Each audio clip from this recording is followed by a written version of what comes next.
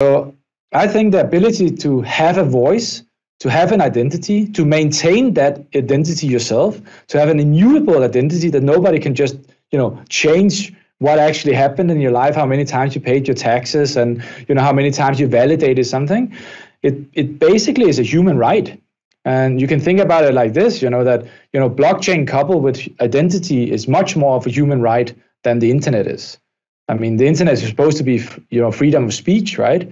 But you know, what we're seeing out there is we cannot even validate what's on the internet anymore. It's impossible to figure out what's correct and what's wrong.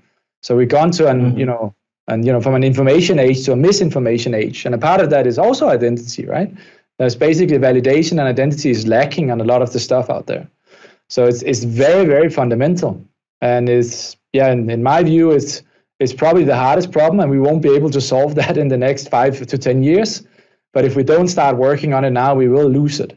And then the only thing is right. left is a is a universal central authority, you know, an all-seeing AI or, or government who decides on your identity on behalf of you. And then it's not your identity anymore. It's who decides what you are and what you're capable of.